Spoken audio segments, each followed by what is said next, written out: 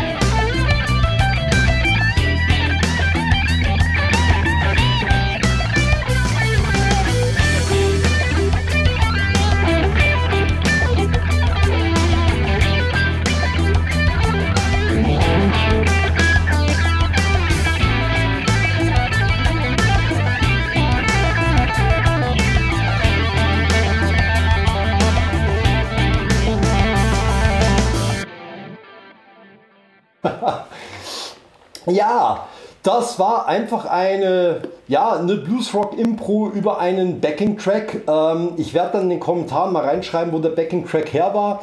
Da ist ziemlich cooles Zeug. Äh, empfehle ich auch meinen Gitarrenschülern, sich da mal umzuschauen. Richtig geiles Zeug zum Dazuspielen. Ja, ich hoffe, es hat euch gefallen.